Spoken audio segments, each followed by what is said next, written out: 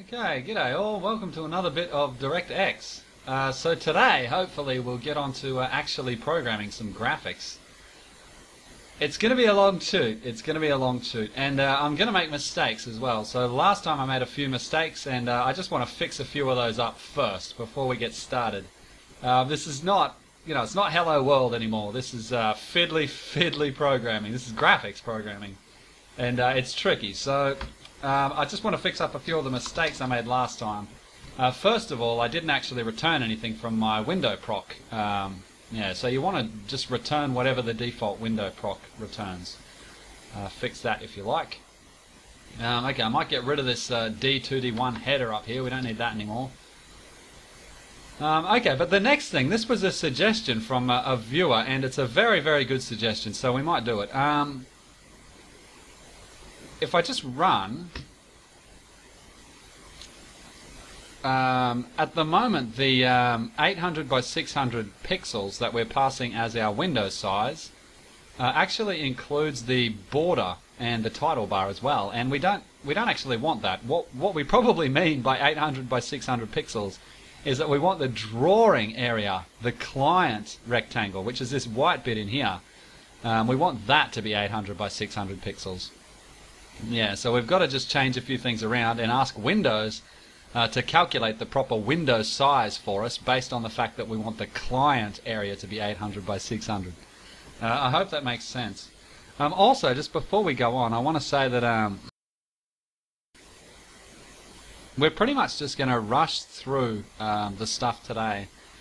Uh, I'm going to explain little things as we go, but most of the things that we'll go through, like coordinates and colors and things like that, um, we'll just have to explain a different time because for the moment, uh, I'd like you to just take it for granted.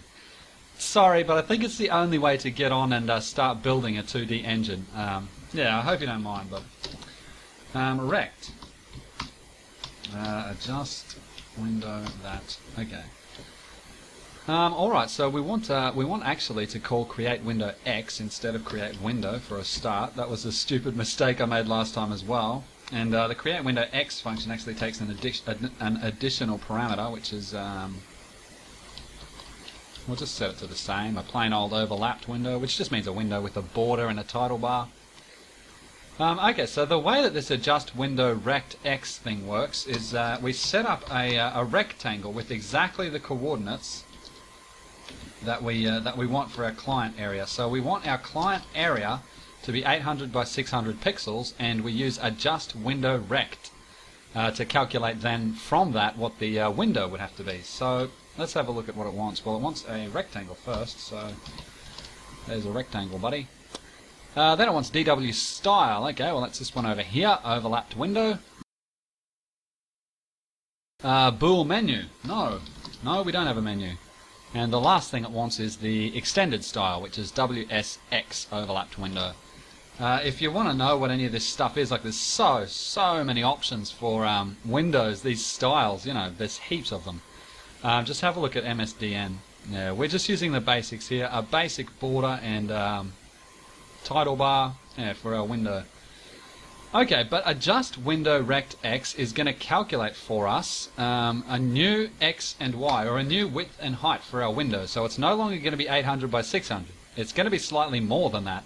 Uh, but it's going to be a size such that um, our client area is um, 800 by 600. So we want um, right minus uh, rect dot left. Okay, so the uh, size of our window is the right-hand side minus the left-hand side of the rectangle that adjust window actually calculated. And the height is um, rect dot bottom minus rect dot top. Uh, okay, so we, we, we're already dealing with coordinates all over the place. Um, yeah, left, right, I mean x and y coordinates. Uh, I'll explain it all later on when we're actually drawing things because it's so much easier to explain when you can see what's happening visually. Um, alrighty, but if I just put a breakpoint there on rect and run it, we should see that it calculates very different rectangle. Um, okay, so the rectangle that we want for our client area is 600 by 800. And the rectangle then that uh, adjust window rect calculates is just strange. Negative 33 with a bottom of 610. It's got a left hand side of negative 10, a right hand side of 810. Um, yeah, but it calculates those numbers exactly so that if we hit play, well, and you don't resize the window. um, if you if you hit play, the uh, the white area is now exactly 800 by 600 pixels. Yeah, yeah. So that's exactly what we want. We want our drawing area to be 800 by 600 pixels, and that's how you do it with adjust window X, adjust window rect X. Um, okay, so that's just a bit of housekeeping from uh, my silly mistakes last time. The next thing that we want to do is actually start graphics programming. Um, what you really want to do, I think, is uh, make everything modular as possible. So we're going to split our graphics into uh, its own header, graphics, uh, its own class, actually. So I might just pragma, pragma once, and class graphics, uh, public. Okay, so I want to say that one of the hardest things about making a uh, graphics uh, game or, or just you know multimedia in general, one of the hardest things is just keeping just the the overall structure of your project. You want to keep everything modular. Um, so splitting your graphics away from your main.cpp file is a super super good idea. And what we're going to do here, hopefully anyway, we're going to start making uh, what's called a 2D engine, a 2D graphics engine. So it's going to consist of all our own own functions, and uh, we can call them from uh, the window proc here and draw whatever we want uh, using our own syntax, basically. Now, it's going to be a 2D graphics engine, so I might include Windows for a start. Uh, there we go, and I might also include D2, D1, and that one. Um, okay, so D2D1 underscore 1 is for uh, Windows 8, and this header here, D2D1, uh, I believe is the Windows 7 and Windows 8 desktop, I think, header. Yeah, so that's just the main uh, Direct2D graphics header. Um, I might include our graphics class in um, the main.cpp. Uh, but then, what do we actually want in our graphics class? Okay, so this will be a, uh, a bit of a wrapper for Direct2D. We're going to need um, ID2D, a factory first.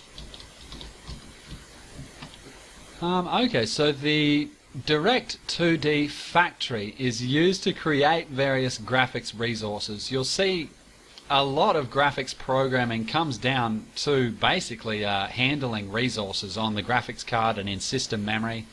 And uh, the 2D factory just uh, helps us create certain things like um, ID 2D uh, 1 HWind render target.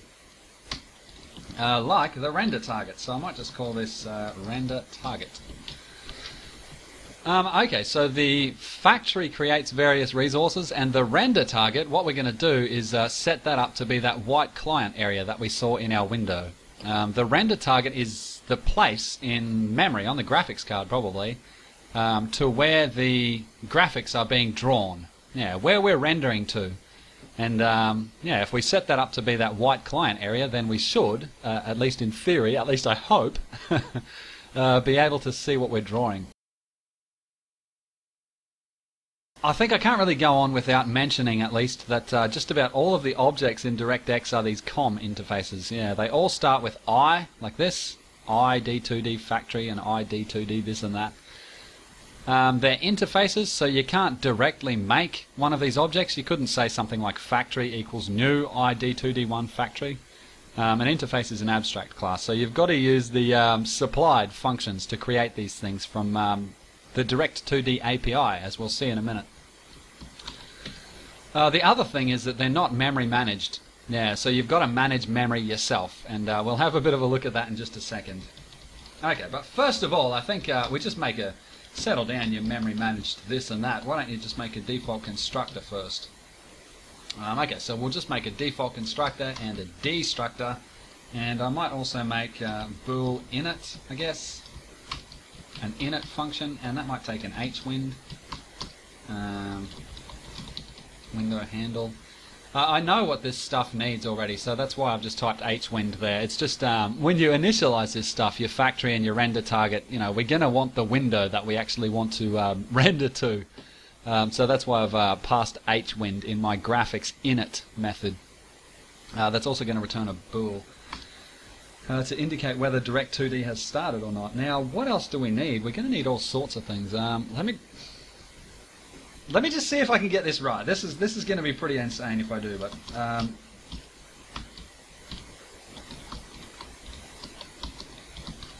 mhm. Actually, I might actually make that a capital T. Use a bit of camel case. Uh, begin draw. Okay, so our graphics class is just going to wrap all of the uh, normal render target and, and drawing procedures up. And one of the things that we want to wrap up in our own function calls is this begin draw.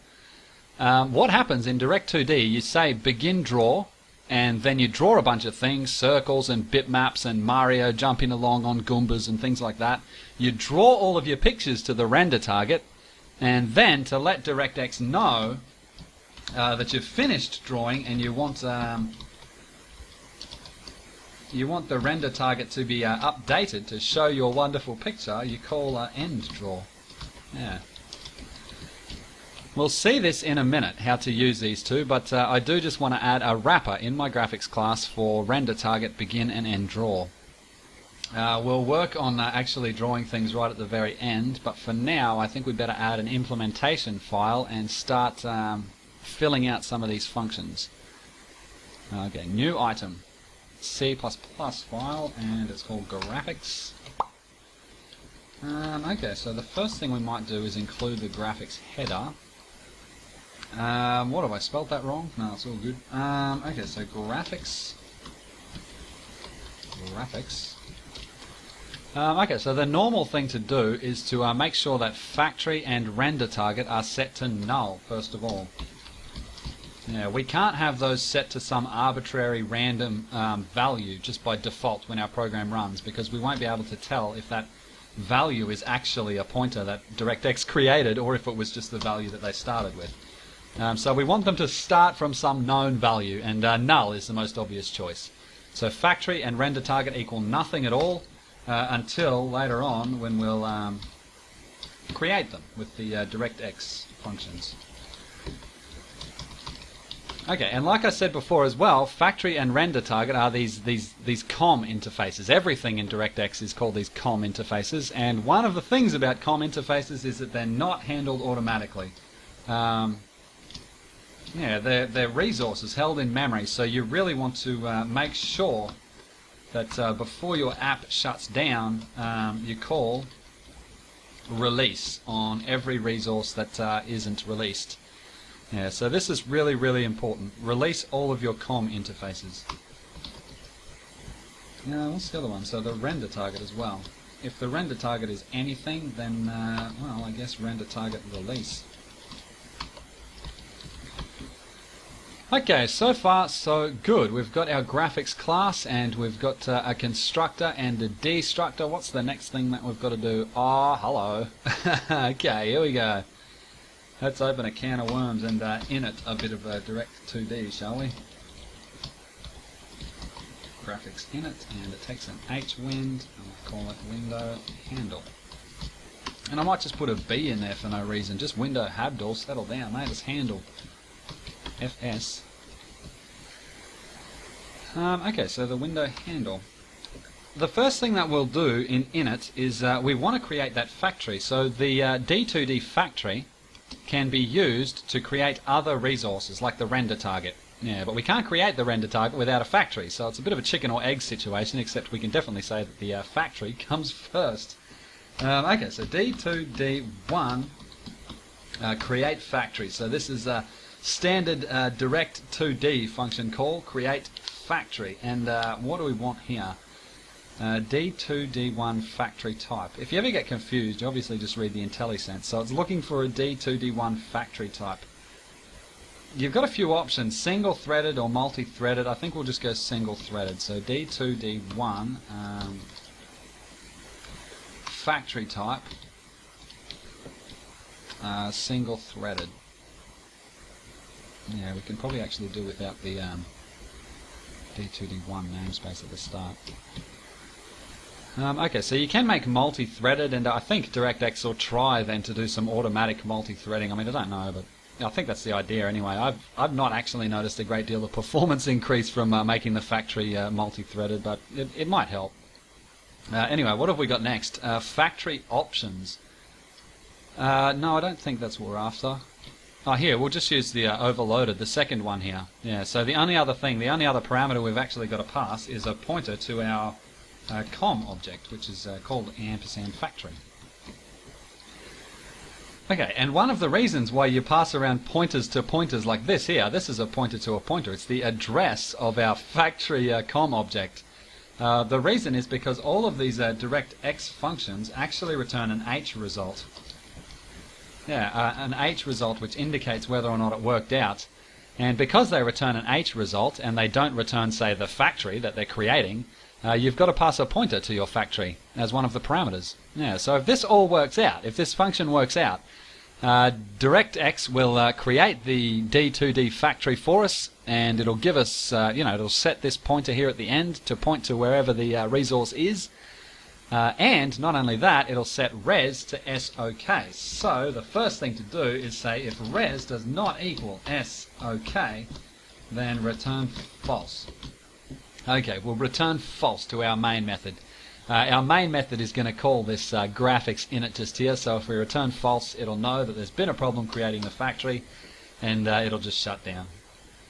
Um, okay, but the next thing that we've got to do is uh, create a uh, H-Wind render target. So that's our our render target up here. So we might actually do this in uh, a few steps. First of all, we might get the size of the render target. So we know that the size is uh, 800 by 600. Um, but we might actually just read it from the window handle here. Yeah, because I'm, I don't want this graphics class here to set up the size of the window. Um, you know, it's it's it's none of its business what size the window is. The window's already created, so the graphics class is just going to read the window handle. Um, I might just say rect, rect, and get uh, get client rect. That's it. So this is just a standard Windows function. And what does it want? Well, it wants a window handle, which is this one, and it wants a pointer to a rectangle. There we go. Okay, so that is just going to set up this rect here to be 800 by 600. Yeah, because that's the size of the client area. We went through that before. Um, Alright, so now what have we got to do? Well, now our factory uh, our factory should be able to create a H-Wind render target. There we go. Okay, create H-Wind render target. Now this is just a beast of a function. Let's have a look. Uh, what is it after? D21, D2D1 render target properties. D2D1 render target properties. Okay, so I think you can just default these. Um, there we go, render target properties. Okay, so that's a function call. Um, that just means use the default uh, D2D1 render target properties. Yeah, and the next question, what's the next question? IntelliSense? Uh, H-Wind render target properties.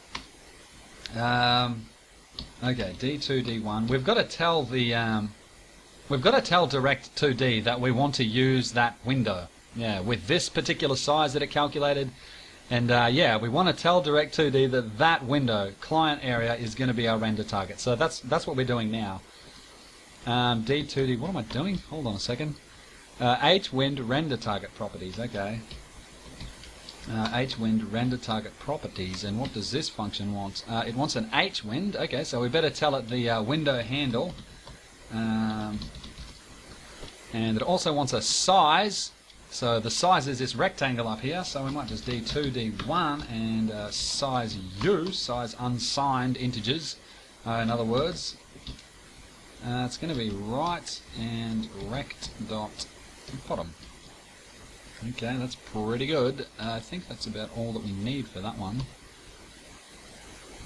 Um, yeah, okay, and the next thing it wants is um, our pointer to our render targets. Let me just put a comma there. Yeah, the last thing that it wants is a pointer to the render target. So once again, uh, create H-Wind render target is going to set uh, this pointer to the render target uh, if all is well. and it'll fix up this A just here as well. No, I'm kidding. It's me that has to do that. Oh, what a function. Anyway, res equals that. Okay, so once again, create window h or whatever it is uh, is going to return an h result. Yeah, and set this uh, pointer up here to the uh, point to the object that it creates if it actually creates the render target. Uh, so once again, we want to say uh, if res does not equal S_OK, uh, return false. Return flaws. flaws. Okay. Otherwise, return true.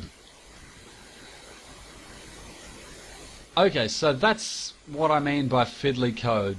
Yeah, that stuff there. It's just, it's horrible, really. Yeah, you want to type that as uh, as seldom as you possibly can. But with a bit of luck, what that's done for us is create a factory, a Direct 2D factory, uh, and then we've used that uh, Direct 2D factory to create the render target and set it to the client area on our window. Whew.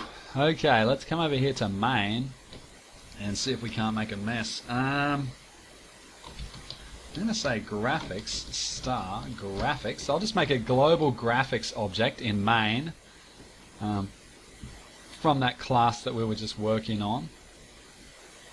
And down here in our uh, in our win main method, after we know that the window is just about to be shown, I might might create that graphics uh, object. So graphics equals new graphics. Call the uh, default constructor.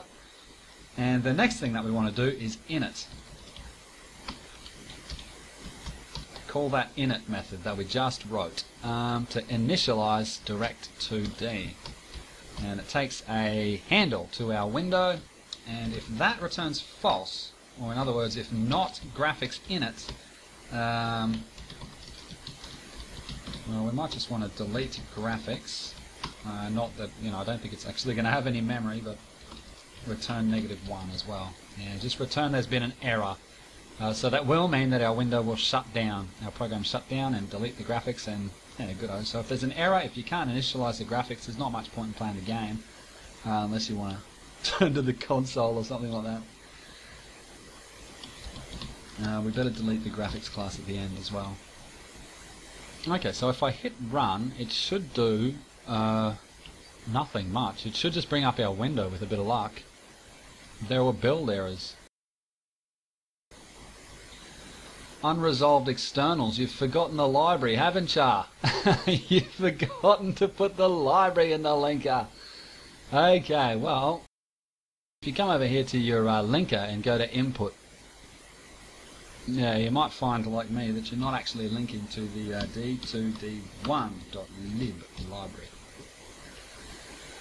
So add that, that's an external dependence, d2d1.lib. Click apply and OK and cross your fingers. Okay, there we go. So at the moment it didn't it didn't uh, shut down straight away.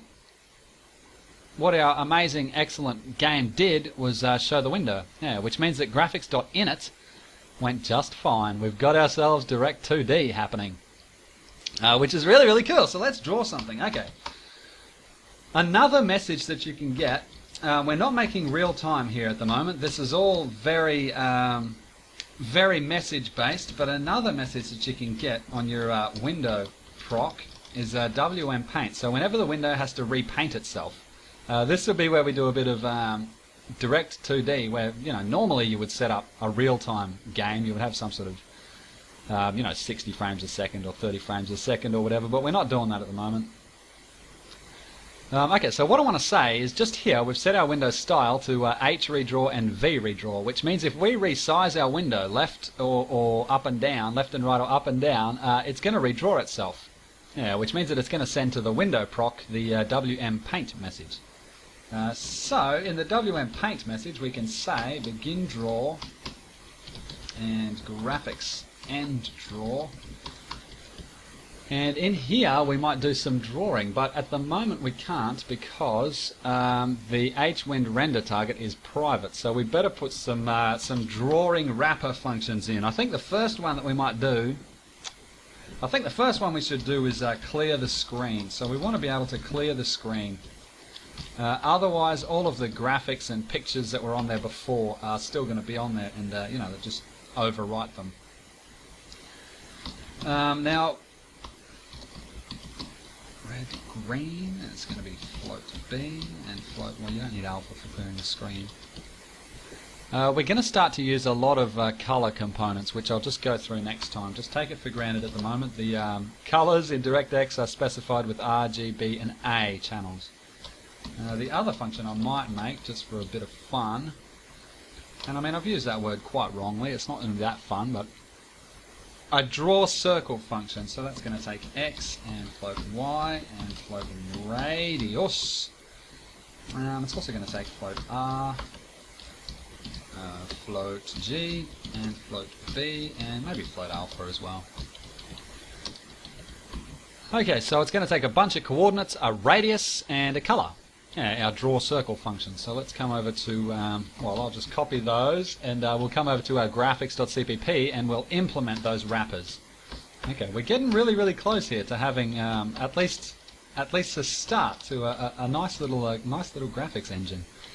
2D graphics engine. Okay, to clear the screen, you want to call your uh, render target, and it's just it needs to um, there. To clear the screen, you want to call your render targets clear method. And it's looking for a color. So in Direct 2D, you often specify colors by D2D1 and color F. Uh, RGB. Okay, like I said, we'll go through exactly what the uh, meaning of RGB and that is uh, a bit later, but I don't know, maybe you've come across them before. Uh, it's just how you specify colours. And for our draw circle, we want to call... Actually, I've got to put graphics here as well. Okay, render target. Um, draw ellipse, it's called. Yeah, so uh, Direct 2D draws ellipses. Uh, but we can get a circle out of it easy enough just by setting the um, x and the y radius to exactly the same value. As we'll see shortly. So it wants a D2D1 ellipse. Okay, let's give it one. D2D1 ellipse. Um, and the D2D1 ellipse wants a point. Okay, this is a um, center point. Um, D2D1 um, point 2F which is a point specified by two floats, which is exactly what we've got for parameters, x and y. And what else does our ellipse want? Our ellipse wants a radius x, well that's going to be radius, and it also wants a radius y. Okay, so a circle is just a, a ellipse with the uh, two radiuses as the same. Yeah, I hope that makes a bit of sense. Um, and a brush, it wants a brush. Um, we don't have a brush. we haven't got a brush. Um, okay, we've got a few options. This we'll do. We'll do the slow option. Um, ID two D one. Um, solid color brush. We'll do the slow option and um, just make the brush here in the method. Okay, and it's the render target that creates brushes for some reason, not the um, not the factory. Um, okay, it wants a color, so D2, D1. Our colour for our brush is, um, whoops, it's going to be RGBA and it also wants a pointer to that brush, so ampersand brush. Okay, now finally we can give the brush to our ellipse because that's what it was waiting for. Okay, there you go mate, have a brush. Um, what else is it after? Stroke width. Okay, we might make the stroke 3 pixels and stroke style, it's all, yeah, they can just default, we don't really. Um, okay, so at the end, just before we finish drawing our circle, we created a brush just here, and that is a COM interface. Yeah, ID, 2D, blah, blah, blah, blah, blah. That is exactly what COM interfaces look like. So, because it's a COM interface, we better make sure that we release it.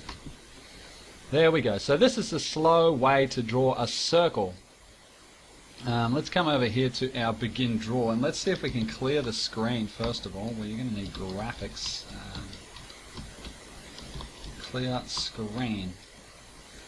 Okay, the color. It's always a good idea not to clear it to black.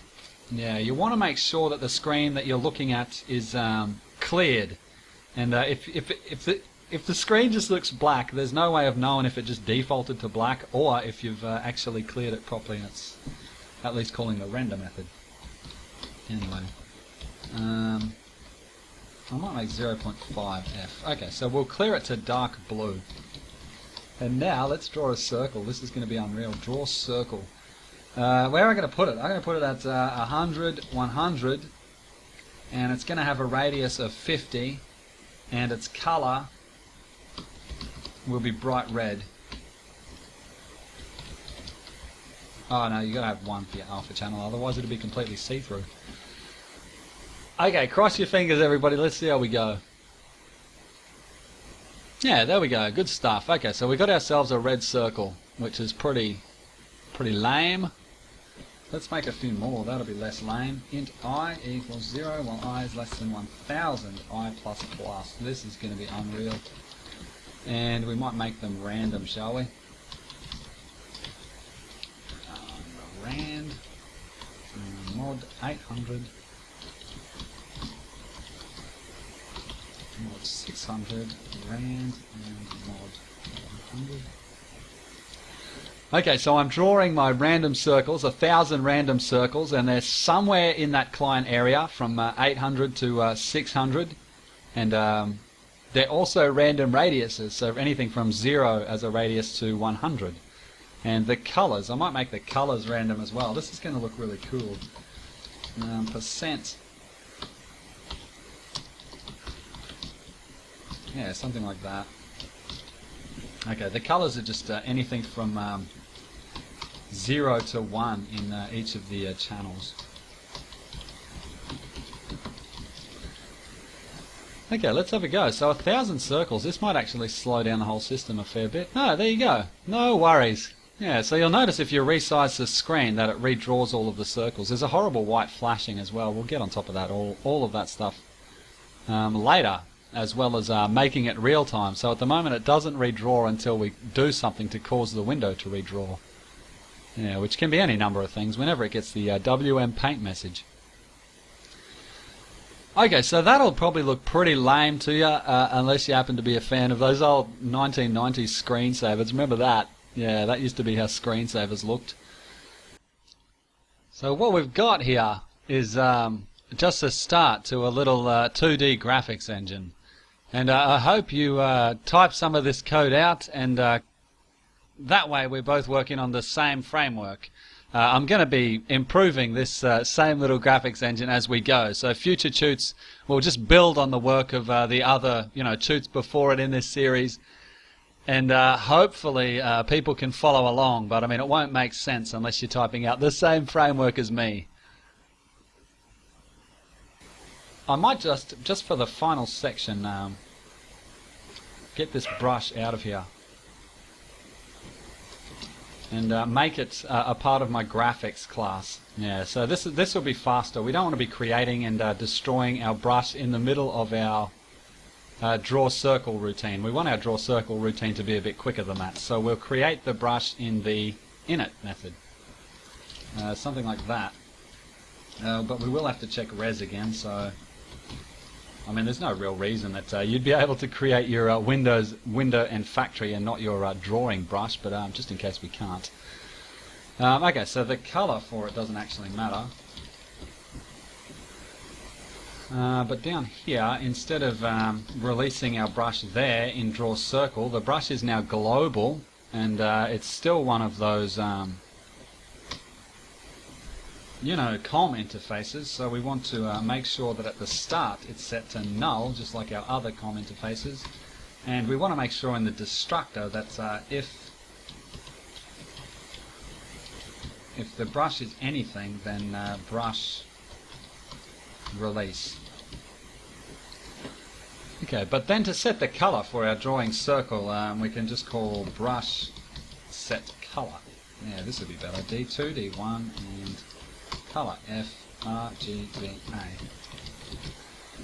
Yeah, that's better. Hey, that, I should have done that from the start, sorry. Yeah, it'll look much the same, but it will be drawing something like 10% faster. Yeah, we'll be able to draw a few more circles. Anyway, it was a long one. Uh, sorry if I bored you all to sleep, uh, but we really, you know, we really need to just get on with um, some direct 2D graphics programming, and I think the only way to do that is just to slam our faces right into it. Thanks for watching, and uh, I hope this turns into something really, really good.